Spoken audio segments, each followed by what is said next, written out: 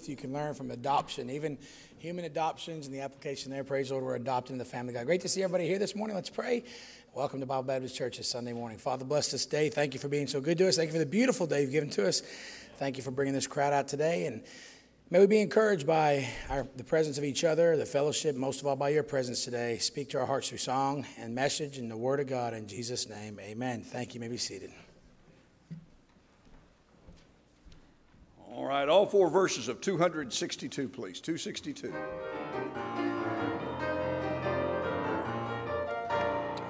Would you be free from your burden of sin? There's power in the blood, power in the blood. Would you on the victory win? Oh, there's wonderful power in the blood. There is power, power, wonder working power in the blood of the Lamb. There is power,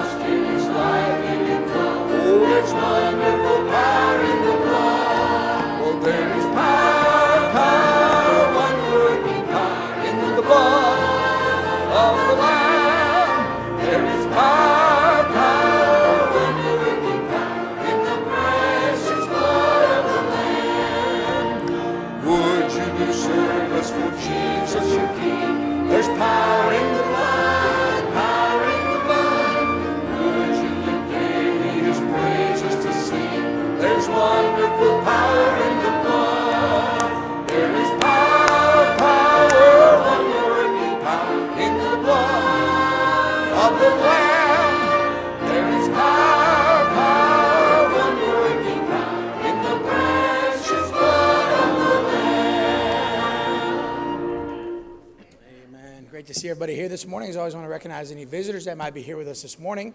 The bus, if you don't mind, make your way on up here. I'll have you talk about the Show Me Gospel Project this morning. Push it a little bit. We're excited about that. If you have not received your visitor's card, I know we have some visitors, but you, maybe you've already received it. But if you have not received it at this time, we'd like you to raise your hand so our ushers can give you a visitor's card. And uh, that way you can fill it out. And then at the end of the services, you can trade it out at the back, back there on my right, your left in the foyer for a small gift from our church. So always great to have visitors. I know they're here. They must have already gotten their visitor's card. Great, great to have all of you here. Appreciate you being in the church services today. Well, yesterday, big thank you to, uh, let's see, Brother Gary, I think helped a little bit with it, uh, Miss Heather and Brother Brian, and we had 39 people go on the float trip, and we did a lot of amazing things. Uh, let's see, we, we, we floated during a thunderstorm. That was awesome.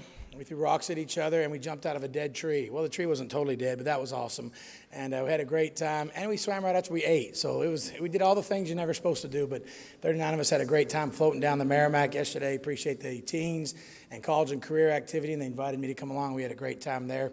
Water was nice and cold. We appreciate that. And it was great. Thank you so much for organizing that. Also, thanks Brother Bussy preaching Wednesday night. Got to hear the message. Camp was great. Eight salvations this week, eight salvations, and uh, one, uh, one, I think one young man turned to preach, and then many other decisions. And it was a good week. Smaller week again because of COVID. All the weeks have been smaller this summer. But just thankful God has allowed us to still get busy this summer and, and be a blessing, and then also be blessed by many of the camps and conferences that we were part of. But done now, signing off uh, for this summer. But thankful that COVID did not stop all the camps from doing things. Lots of teenagers got fired up and right, and so we praise the Lord for that. And God sure is good there.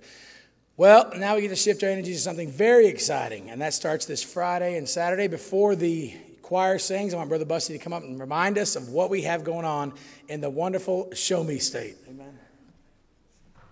All right. Well, we've been praying for several months now about the Show Me Gospel Project. Um, and so we'll be putting together 30,000 John and Romans this Friday and Saturday. And so we need all hands on deck. Make sure you sign up for that. See Miss Heather get signed up. And uh, but on Friday from five to nine, you can come anytime during that. We'll be in the fellowship hall, and then on Saturday ten to three. And uh, so I want you to come and be a part of that, putting together and praying over that and seeing um, all, all, that process. It'll be wonderful. So I want you, want you, to make sure that you're here. And then also, I want you to pray about uh, being a part of distributing them. There are about 28,000 doors in Cole County. We'd like, uh, our goal is by the end of the year to have all those doors receive a John and Romans, and that's only going to happen through prayer and through our feet getting a little tired, okay? And uh, so I want to make sure you'll be a part of that and uh, physically, and then also I'd like for you to be a part of that financially. And uh, so pray about what the Lord have you doing that. But make sure you be here on Friday and Saturday and pray about it. I'm excited what the Lord's going to do through His Word. There's power in God's Word, isn't there? And uh, so I'm excited about giving out John and Romans uh, to the residents of Cole County. And after that, uh, that's not the end of the vision. We'll continue to do the outerlying areas, and if the Lord allow, the whole uh, whole state of Missouri, and who knows what the Lord will do after that. So we're looking forward to that. Make sure you hear Friday and Saturday. Any questions? Uh, you can see any one of us, uh, me, Miss Heather, uh, my wife, and uh, and we'll see what the Lord has. But Friday and Saturday, make sure you're here.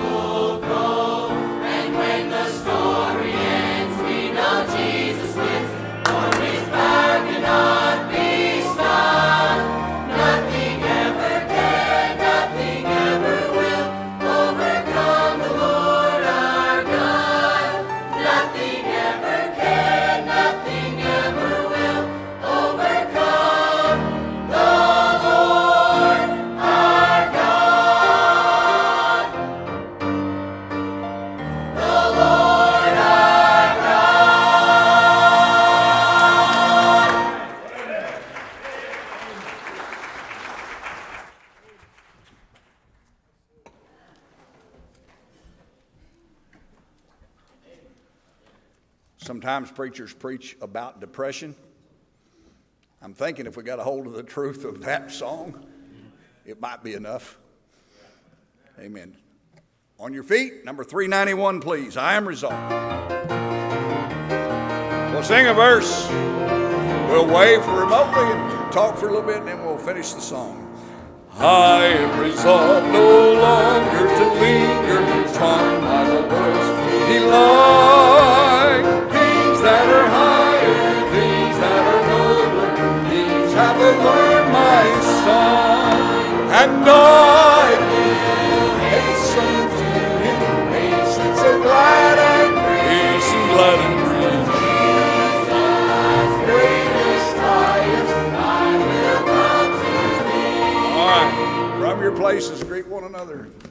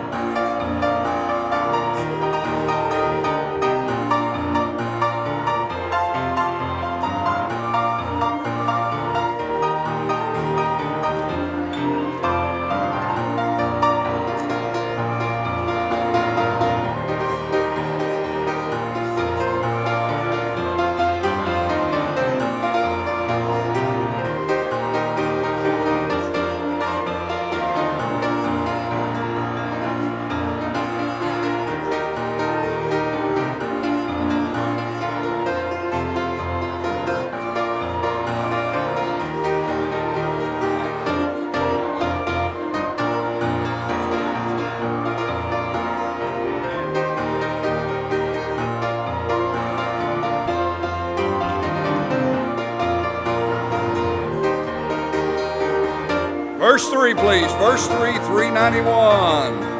I am resolved to follow the Savior, faithful and true each day. Heed what he saith, do what he will. He is the living way, and I will hasten to him, hasten so glad, hasten glad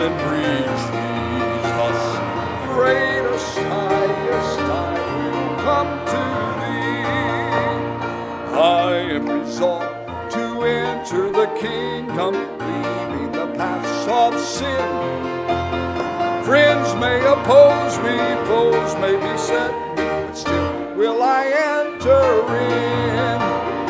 I will hasten to him, hasten so glad, free. Jesus, greatest, highest,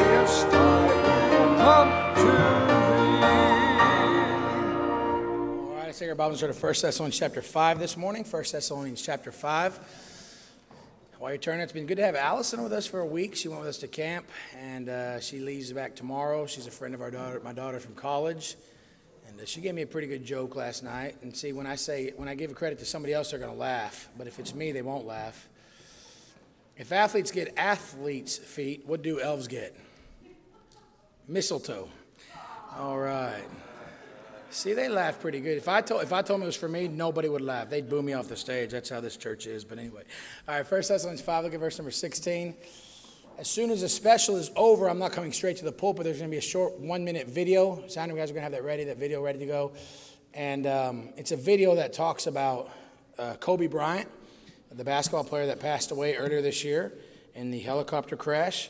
Um, obviously, I don't endorse everything in his life or his lifestyle, but what you'll hear said about him in this one minute should challenge any Christian, and it goes with the message for today. So I hope you'll listen to it very carefully. One minute, it's only about a minute long, and, uh, and just check it out. All right, look at verse 16 with me, First Thessalonians chapter 5. I'll give you the title in a little bit after the special. Looking forward to the special this morning. Verse 16 Rejoice evermore.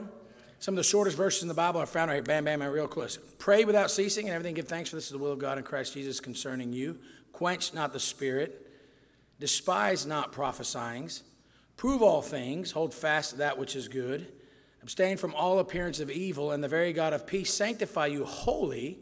And I pray, God, your whole spirit and soul and body be preserved blameless unto the coming of our Lord Jesus Christ. Faithful is he that calleth you, who also will do it. Father, help us this morning. Thank you for this truth, this simple truth. We need it. We need to be reminded of it. And encourage our hearts, please. In Jesus' name, amen. You may be seated.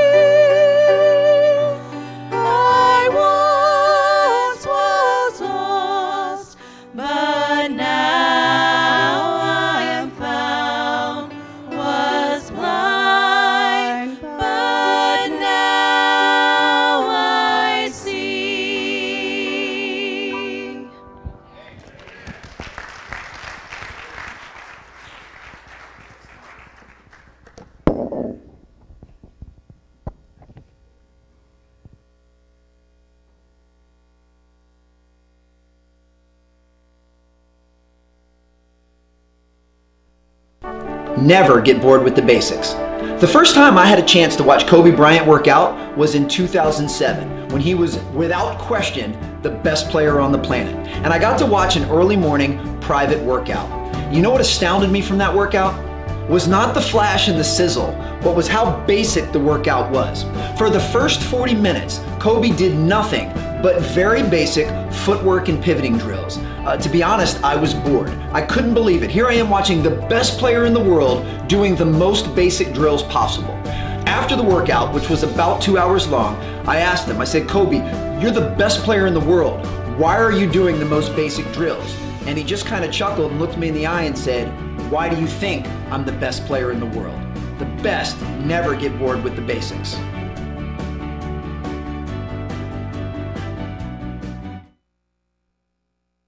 Very simple thought, very simple statement there. And uh, those of us that have been parents for any length of time, especially when our kids are younger, I'm sure we heard that statement. And by the way, we're going back to our theme, reminding us of the theme for the year, which is the word again. Christian life is made up of doing things over and over, again and again. I'm going to throw the title up there, Brother Jason. But we've heard this phrase before when the kid comes in the living room or the kitchen and says, I'm bored. How many of you ever heard your parents or your kids say that as a parent? And uh, I've heard that from all four of my children through the years. And then moms seem to have the best answer for it. Well, find something to do, right? How many of you moms have said that statement? That's tonight's message find something to do. But this morning, we want to talk about the subject of I'm bored. I'm bored. I was preaching at a teen retreat several weeks ago in Pigeon Forge, Tennessee, and the youth pastor made that statement. He talked about that video, and I looked it up and started to research and began to think about how the Christian life, I think, sometimes we, without realizing it, are saying to our Heavenly Father as His children, I'm bored. We've gotten bored with the basics. We've gotten bored with the things that make the Christian life what it really is. I was uh, also thinking about the fact that we physically must nourish ourselves every day. Some of us nourish ourselves more than others, but the fact is we're supposed to physically nourish ourselves every day. We are to eat healthy, eat well. We eat well as Americans, there's no doubt about that and we eat. Many of us eat breakfast, lunch, supper, and and uh, we have these meals we eat. But listen, every once in a while, you get to splurge. You do something special. Maybe it's an anniversary. Maybe it's uh, uh, maybe it's uh, uh, you know your kid graduates from school or, or, something exciting happens, and you'll you'll splurge. You'll go to a Ruth's Chris Steakhouse, or you'll go to restaurants that are a little bit more pricey, maybe more out of most of our budgets. But you'll do that as a as a special treat. But it's not those meals that sustain us over the long haul. It's not. It's the daily scrambled eggs. It's the daily peanut butter and jelly sandwich. It's the daily grilled chicken with a side of with a side salad. It's the daily meals that we kind of think are boring that actually help us live and get us to the point we're at in our life. When I saw that video, I thought, wow, isn't it sad that even some of the world's best athletes or some of the most successful people on this planet never get bored with the little things. They never get bored with the basic things that we're supposed to do. I've learned this as being a Christian long enough now and been in the ministry long enough now that when you are faithful in the little things and you meet God in the little things, God will then meet you in the big things also. He'll meet you in the big, spectacular Ruth Chris moments of your life, which we all have them from time to time. But may I say to you today that maybe one reason the world has gotten bored with church is because it first started with Christians getting bored with church. The world has gotten bored with the Christian life, or even not even entertaining anymore, is because Christians have gotten bored with the Christian life. Because the Christian life really is a simple process, but it's over and over and over the same things we must do. It's the secret to a happy marriage. It's the secret to raising children in a consistent home. It's really not even a secret. One of the most well known preachers in the 1930s and 40s and 50s, early 50s, I think, was a man named J. Frank Norris. He pastored two churches simultaneously before transportation was as efficient as it is today.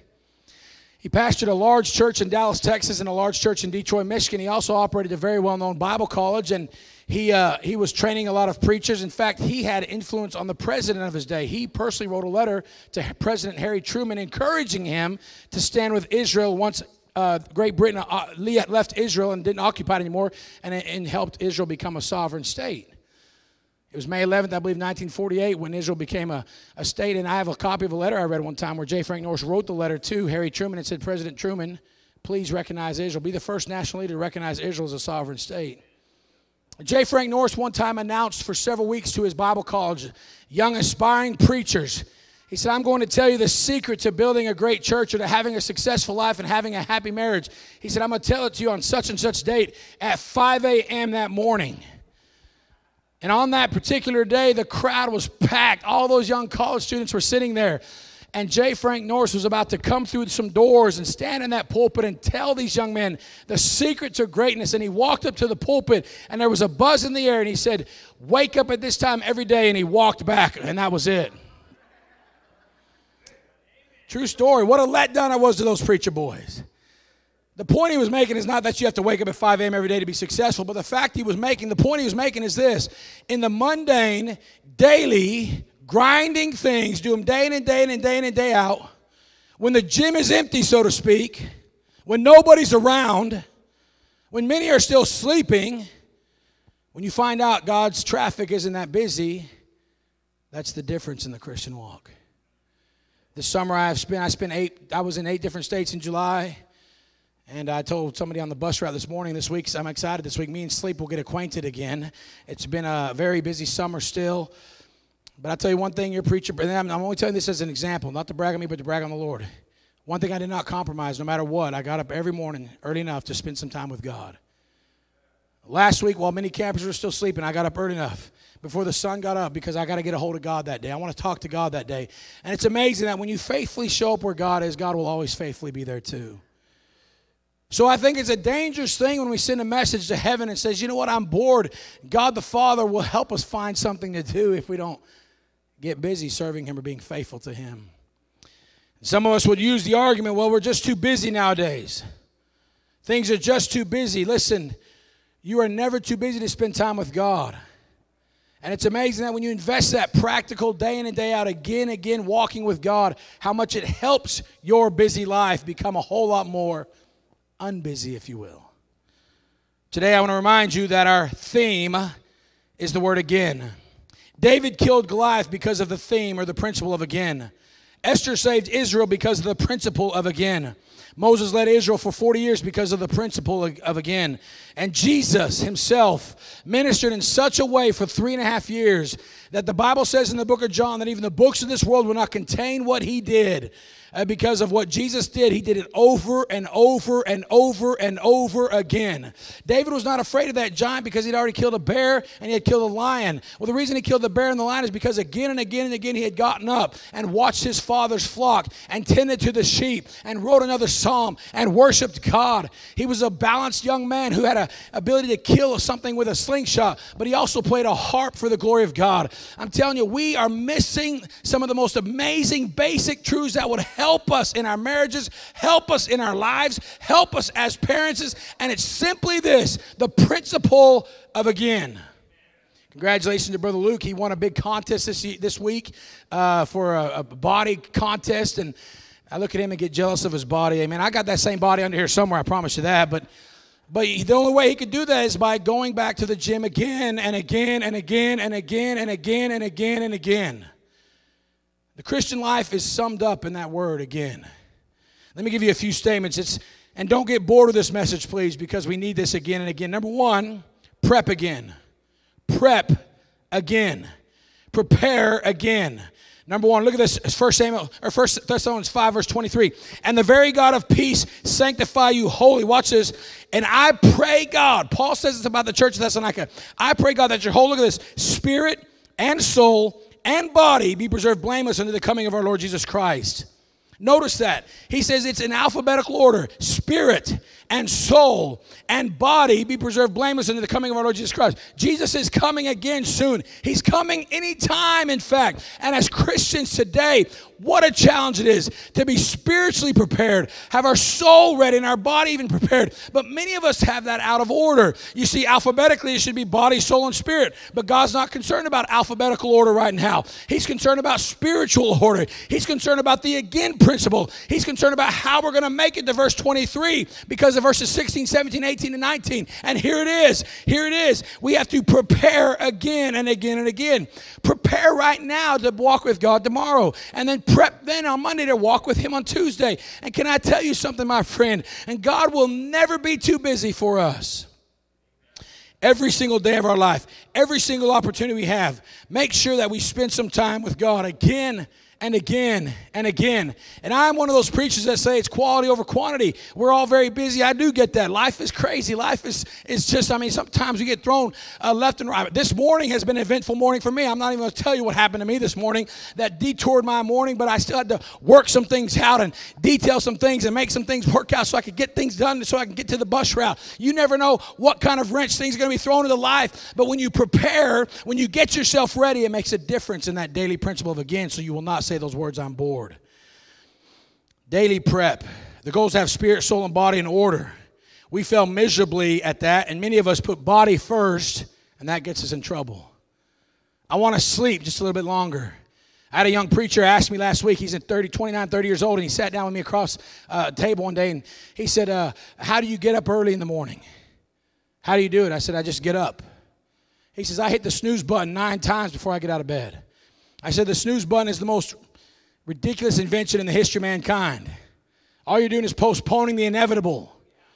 When the alarm goes off, get up. Why would you set it for 5 a.m. and then hit the snooze button until 6:15? Set the alarm for 6:15 and get up. That's better for you. And yet people all the time hit the snooze button. We all know what the snooze button. I'm not saying I've never hit it, but I probably only hit it two times since January 1st of this year. I don't like the snooze button. I hate it. You say, well, sometimes the alarm goes off and you don't feel like getting up. I know, but I get up. Why? Because I decided the night before that was a clock I was going to set. And by the way, the longer you do that, you'll be amazed how many times you'll wake up five minutes before the alarm goes off and you'll even feel better about yourself then. You say, well, are you saying never hit the snooze button? No, I'm not saying that. I'm trying to get us to see a point that many of us in the Christian life continue to hit the spiritual snooze button of our life. God is speaking us to our right now. God wants something right now, and we hit that snooze button. And, and I think most snooze buttons are hit for nine minutes. Who chose nine minutes? Nine minutes is a weird number. Go for 10. Get that extra minute because it'll change your life and save you the rest of the day. But nine minutes it goes off. Nine minutes. I came across an alarm clock several years ago with technology today where a Navy SEAL's voice comes over the phone in the morning. And, he, and it's literally it goes like this it goes, Good morning. I'm going to give you the count of 10 to get out of bed. One, two, three. And my wife used to roll over and say, Tell that Navy SEAL to shut up. I said, You tell him. I ain't telling a Navy SEAL to shut up. When you hear a voice like that, you get out of bed quick. I always got up before the time he got to number two. The point I'm trying to make is this the Holy Spirit so many times will come to us and speak to our hearts in a church service or as we walk with God, and he'll say, Man, you got something not right there. There's something struggling right there. You're not doing this right. You're believing all the lies of the media today. You're, you're swallowing it like a, like a fish who's hungry in a, in a pond, and, and you're struggling through life. And I'm giving you the truth right now. I want to help you. And we hit the snooze button over and over and over and over again. In the Christian walk, don't hit the snooze button. If you want to do it in your sleep, help yourself, but don't hit it in the Christian walk. Number one, prepare again, prep again. Number two, pray again. In the Simply Outline, pray again and again and again. Brother Busty's been hitting on that a lot lately. I listened to his message Friday on the way back from camp from this past Wednesday night. It seems like almost every time something gets hit about prayer, prayer is very important. Prayer is talking to God. Prayer is asking of God. Prayer is communication with God. Prayer is asking and seeking. And it's, it's praying for others and thinking of others again and again. And here it is in verse 17 pray without sneezing. Sneeze. I almost said pray without sneezing. Uh, bless you. But anyway, pray without ceasing. Pray without ceasing, church. And it is so important. It is vital as Christians that we pray. Listen, I preached this several weeks ago. I think sometimes we have this, this notion that we've got to get up in the morning and spend two hours on our knees praying for God. Listen, this is, God would prefer this all day long. Just a quick little prayer here. You hear some negative news on the media. Pray for our country. Pray for your work. Pray for your wife. Pray for your kids. Just constantly again and again and again and again and again. And you'll never get bored with prayer. Prep again. Pray again. Number three, I love this one. Praise again praise again. Churches, especially Baptist churches, have put so much emphasis on the prayer part. We have prayer requests in our churches. I quit doing that a long time ago. You can ask me, you can text me prayer requests. I'll be glad to pray for you. But when you ask for prayer requests, 50 people will raise their hand. But you ask for praises, and two people will raise their hand. Through the years here, I'm just going to say it because I tell the truth around here.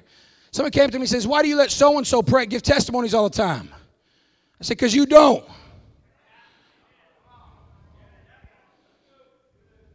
Why would you complain about somebody else who's willing to give a testimony when you don't? Well, I don't believe in God giving God public praise. Well, then you must not believe this Bible. The Bible talks about public praise a lot. It's in the book of Psalms. In fact, there's an Old Testament story about how they were going to battle one day. They had their swords ready, sharpened and ready to go, but they started praising God under the mulberry trees. And God got so excited, He said, Leave the swords alone, I'm going to whoop them for you. They didn't have to break a sweat that day. How about praising God again and again?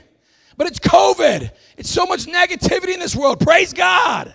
Find a reason to praise God today. In 1 Thessalonians 5 and verse number 18, in everything, in everything give thanks, for this is the will of God in Christ Jesus concerning you. Teenagers ask me all the time, Brother Bill, Brother Randy, how do I find the will of God for my life? I'll tell you how you find the will of God for your life by doing the will of God right now. And here's the will of God 1 Thessalonians 4, stay pure. 1 Thessalonians 5, give thanks in everything. That's the will of God for you right now. Be thankful and praise God and praise God and be thankful and over and over and over again, again and again again and again. Find a reason to praise God. It could be a little thing, it could be a big thing. It might be just the meal you had this morning, or the fact that we have air conditioning, or that you got to church safely today. Whatever it is, praise God again and again and again and again, and you'll not get bored with the Christian life. Prep again, pray again, praise again. Number three, I love this. Number four, position yourself again. Get in the right position as a Christian. Many of us are positioning ourselves wrong. If you watched this video a while ago, Kobe Bryant knew exactly where to be on the basketball court at any given moment. And when you travel to camps as much as I do and you see teenagers, most of these camps make everybody play and participate.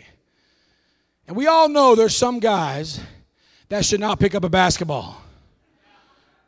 But let me give those guys a shout out, okay? How many of you are nerds in here? Raise your hand, all right? Where's the nerds at? All right, listen, I, I, we love nerds. Nerds, let me help you with something. I preach a lot of camps, and I give the nerds a shout out. I'll say, Where's all the athletes at? And they always stand up real proud because, you know, the girls are looking. I'm an athlete. I'm, I'm a basketball star. I'm a football star. And, and I'll say, All right. And then I'll have the nerds stand up. And they always stand up kind of sheepishly, like they're embarrassed. So They are standing up with their, you know, pocket protectors, 50 pans, and, you know, and all that stuff. And they stand up all embarrassed and sheepish and stuff. And I'll say, Athletes, look at these guys. One day you're going to call them boss.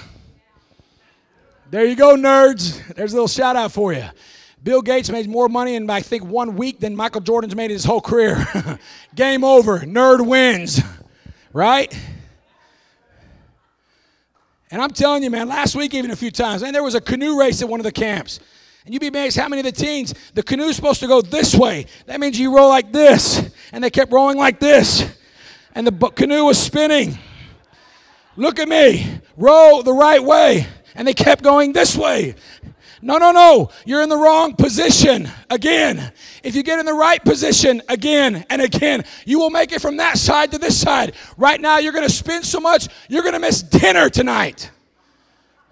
And there were several teenagers, even 14 and 15 year old boys, who did not know how to row a canoe across a, a lake about as wide as this building. But they weren't in the right position. And my son one time looked at me during one of the games and says, Dad, there are no athletes on my team except one guy. and they had some interesting games. I mean, literally, I watched it. The quarterback flipped the football three feet to one of his teammates. He went like this and dropped the ball. I didn't mean to hit you in the hands, buddy. It happens sometimes. But it's all about positioning. By the way, nerds, I did give you a shout out today. We love nerds. Stay with me now. Stay with me now. Position yourself again. What does that mean? Look at verse number 19. Quench not the spirit. Be in a position in your life where you're not hurting the Holy Spirit of God. Stay tender. What does that mean? Stay tender. Look at verse number 20. Despise not prophesying. When someone is preaching the Bible or teaching the Word of God to you, don't come in with a, I can't wait to find out what's wrong with it. Look for what's right with it. And if there's something wrong, call me out on it. Or whoever's teaching or preaching. I mean, I won't bite. I've made many mistakes in this pulpit, and I'll probably make some more, many more. But can I tell you something? I desire to please God. I want us and our church in the right position. I mean, listen, we are in a position, Brother Bussy, to do the Show Me Gospel project this week. We are in a position to put 28, I'm sorry, I can't help but get excited about that. 28,000 John and Romans on every single house in our county. Isn't that exciting? Wow. But we'll never get to that point if we don't position ourselves right now. Despise not prophesying. Look at verse 21. Prove all things. Hold fast that which is good. Prove all things. Just because Fox News says it doesn't mean it's right. Investigate. Read. I can't believe how many people ask me how they should vote. I used to answer them. Now I'm going to say, hey, why don't you look it up and research it yourself? Think for yourself. Don't believe something just because the media tells you to. Don't believe what the masses teach us all the time. Don't believe the narrative on racism right now because the media portrays it wrong. Get educated yourself. Find out what the Bible says about it. Find out what's happening in our country. Be hungry and learn. Position yourselves, and you'll have the wisdom to help instead of hurt. We have a problem in America today because so many people are willing to be a part of the problem rather than part of the solution. When somebody does something bad, somebody else thinks the best way to fix it is to do something bad back to them, and then they do something bad back to them, and it becomes a vicious cycle again and again. But if somebody interrupts that cycle and says, hey, instead of doing something bad to each other, instead of hating each other, because when this crowd hates this crowd, this crowd will hate this crowd back. But if somebody throws a wrench in it, a good wrench, and says, let's bring love into it, love will prevail, love will defeat hate. But we're not positioning ourselves again and again and again. Look at verse number 22. Oh, by the way, it says, Hold fast that which is good. That's this. This is good. Verse 22 again, abstain from all appearance of evil. Oh, that's a great truth right there. Abstain from the very appearance of evil. Be in the right position as a Christian. Stand out from the world. Be different from the world, but then go into the world and love them and help them. The only difference between me and the lost crowd right now is the fact that Jesus Christ has saved my soul. I'm a sinner today. I'll be the first to admit that. But God's been good to me and He saved me. He gave me a Bible. And the Holy Spirit has taught me. And because I decided many, many years ago that no matter how tired I am, no matter how late I went to bed the night before, I'm going to get up the same time every morning and I'm going to walk with God and seek God's face out. It's amazing how all those little agains, that Monday morning, that Thursday morning when nobody knew, when even my wife and kids were still in bed, those again and again and again make all the difference in the world. They make a difference, church. Now, watch this. Don't miss this. I love this. My favorite point is the last one. I'm done. Number one, prep again. Number two, pray again. Number three, praise again. Number four, position again. Number five, plan again. Well, preacher, you already said prep again. No, no, this is different. Look at 1 Thessalonians 5, verse 24. My favorite verse of this passage. Faithful is he that calleth you, who also will do it. Here's what you can plan on every time you can plan on God being there when you show up again and again and again and again. Tomorrow morning, you can plan on God being there again. Or tomorrow night, whenever it is you pray or meditate or talk to God, plan on God being there again and again and again. Can I tell you something? I've missed a few appointments with God, but God's never missed an appointment with me. I'm so thankful for that today.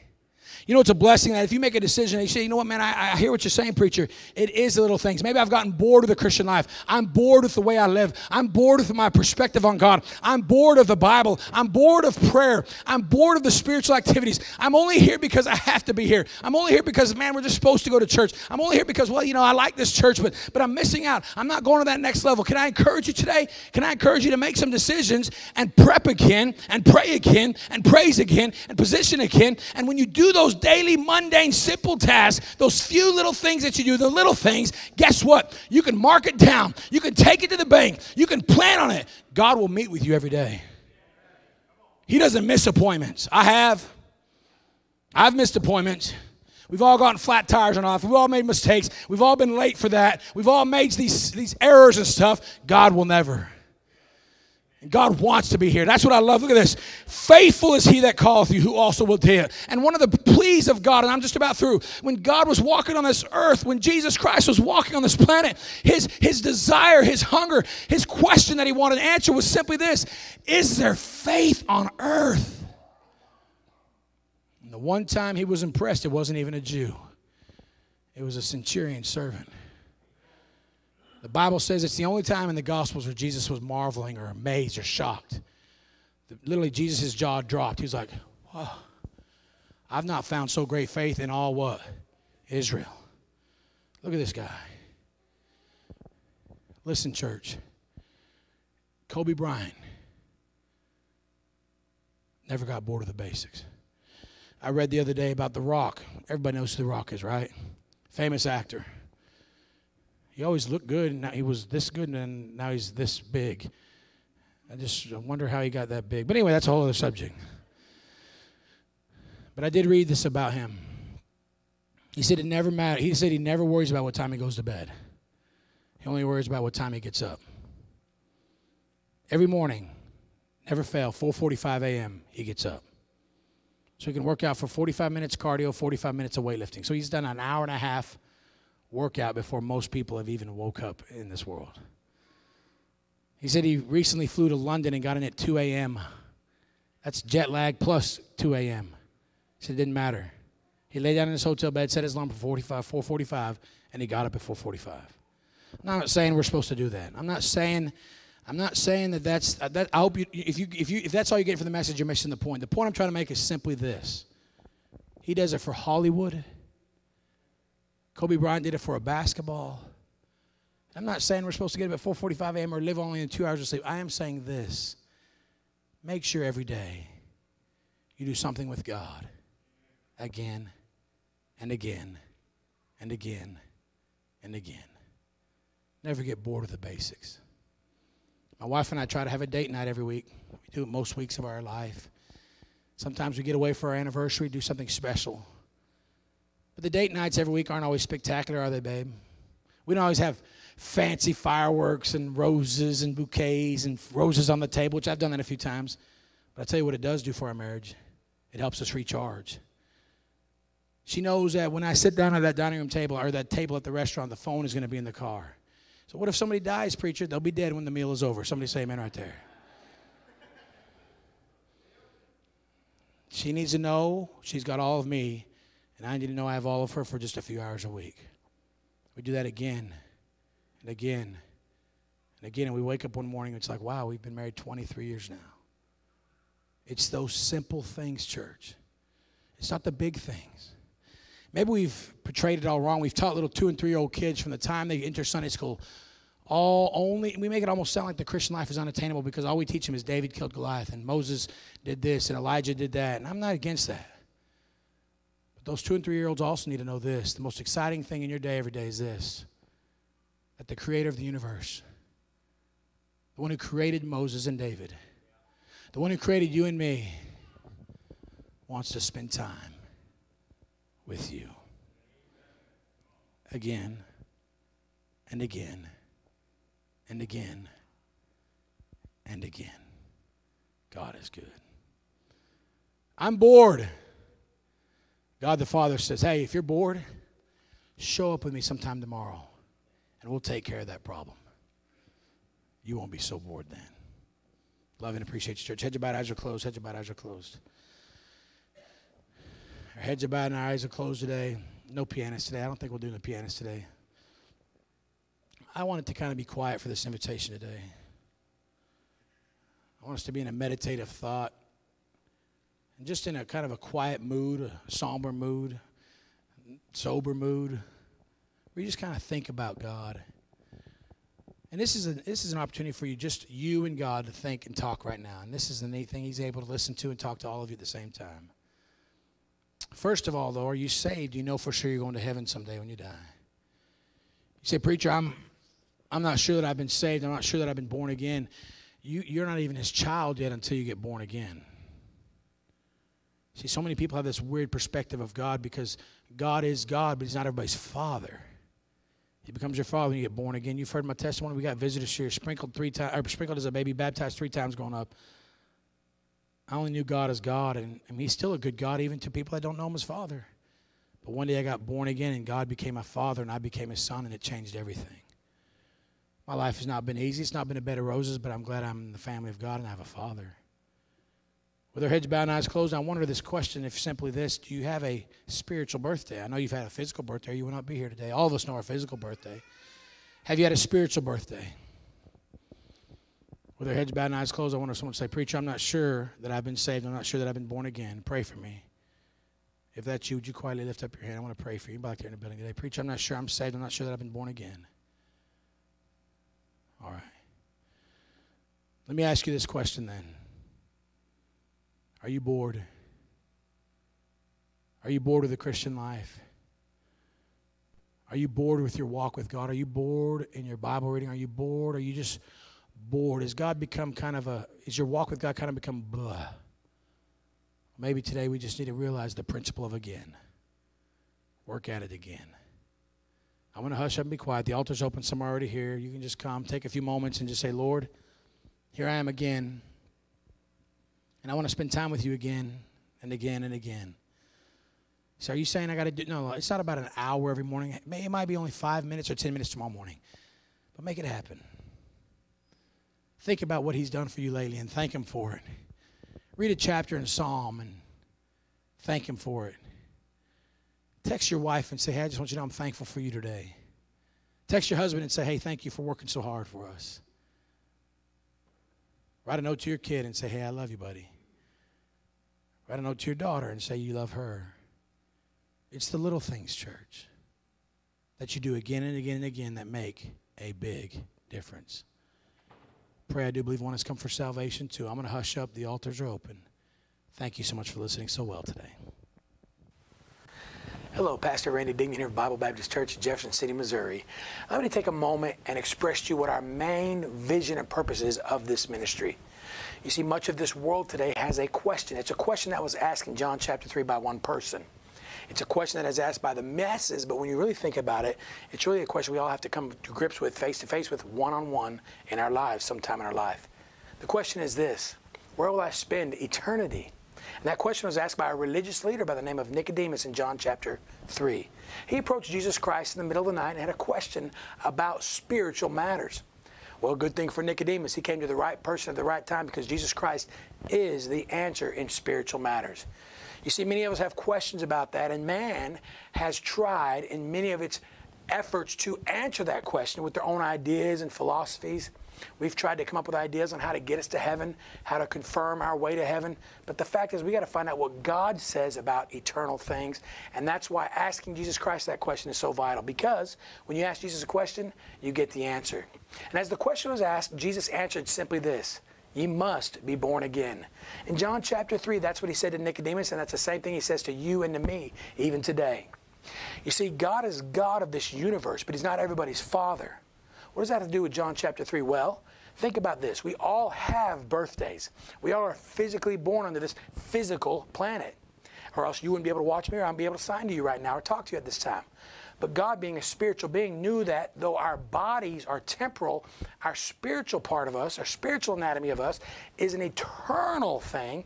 And so God says, I'm more concerned about the spiritual issues. And that's why He sent His Son, Jesus Christ, to die on the cross for you and me 2,000 years ago and live again three days later so that you and I can have a spiritual birthday and know for sure that heaven is our home.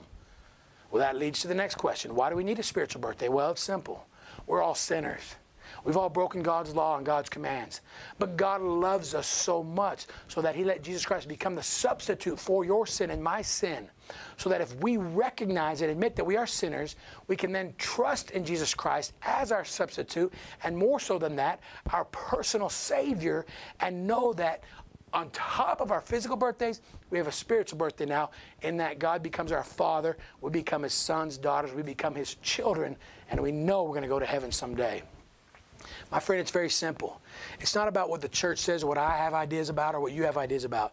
It's finding out what God says directly to you and me. And He did it right there in the Bible, and in particular, John chapter 3, when Jesus says, You must be born again. If our church can help you with that question, if you have any questions about that, we can give you some answers. We'd be glad to help you in any way we can. Again, Pastor Randy, personally thanking you for watching the message. And again, if there's anything we can do for you, let us know. God bless and make it a great day.